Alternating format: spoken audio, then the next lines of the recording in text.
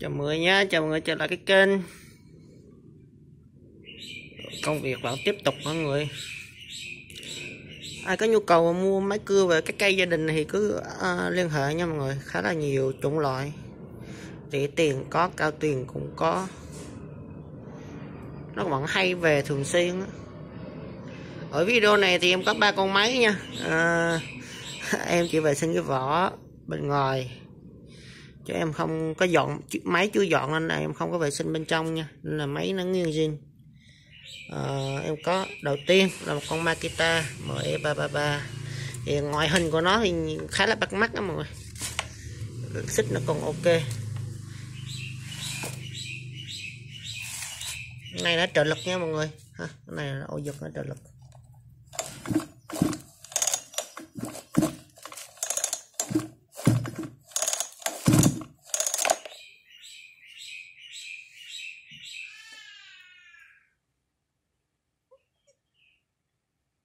Ok.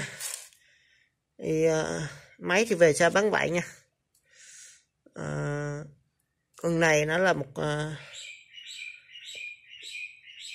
một triệu tư nha mọi người. Ha. một triệu tư không có bao ship máy về sao bán vậy uh, mấy cái hàng mà nhập bãi này mọi người thì thường ấy là mọi người uh, nó không có đồ Trung Quốc để thay vào đâu. Nên là ví dụ như mọi người mua bất kỳ con máy gì chăng nữa mà chưa dọn mà ví dụ nó hư cái chụp giật hay hư cái gì á, thì người ta thường người ta tháo cái con máy khác cũng là con máy như thế này, người ta lắp qua cũng là máy Nhật lắp qua chứ không có máy Trung Quốc để lắp vừa nha. Một con tiếp theo là một con à, Echo Kirit hay con này hay còn gọi là chanh ma nha mọi người. Nó là cùng với con Echo 400 với lại 401 là chung một loại nha tất cả các phụ tùng phụ kiện đều là y chang nhau. Nó chỉ là nó khác cái màu thôi. Một con màu vàng một con màu đỏ đẹp mọi người. Hình thức con này rất là đẹp. Lam của nó là lam à, lam tản nhiệt lam nối nha. À. đẹp mọi người. Rất là đẹp. Hơi thì nó cũng khá là năng. Ui, khiếp thiệt. Con này là công suất của nó là 40,2 cc nặng 4,9 kg nha.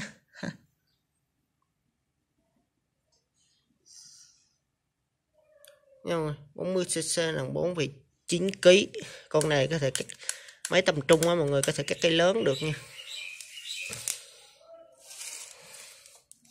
Đẹp ngoại hình khá là đẹp hơi rất là chắc.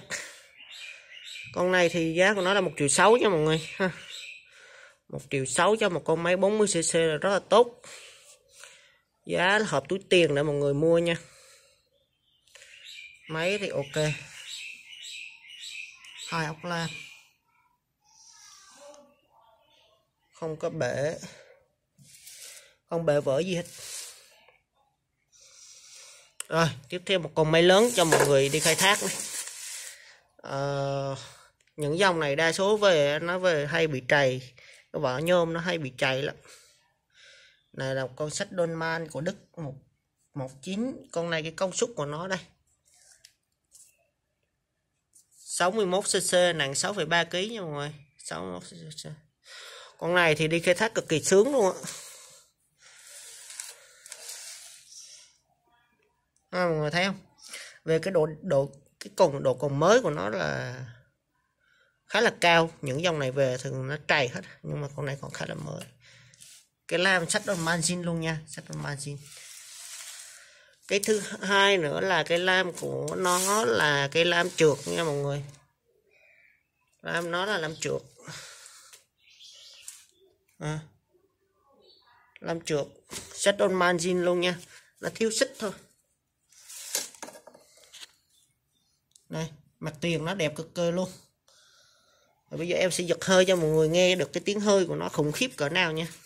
Tiếng hơi của nó khủng khiếp luôn. Ôi. cái con này mà mọi người đi xẻ gỗ rồi hay là các cây bự đồ sướng lắm. Thứ nhất là vòng tua của con này nó còn khá là cao. Cắt cũng khá là nhanh. Lóc máy thì đẹp lắm. Lóc máy nó, lớp men nó đẹp lắm sách anh man của Đức.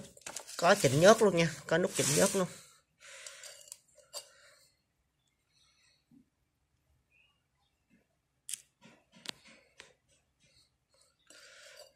Em chỉ vệ sinh cái vỏ thôi, chứ em chưa có vệ sinh bên trong nha. Mọi người về dọn máy thì vệ sinh nha, máy này chưa dọn. Chưa dọn nghĩa là mình chưa có làm nó hoạt động hoàn hảo á. Wow, lọc gió nó còn mới mở lần đầu luôn á lọc gió còn mới quá. Con này chắc à, về đồ xăng có khả năng nổ luôn. Rồi thì cái con này à, giá của cái con này là 2 triệu nha mọi người. 2 triệu nha.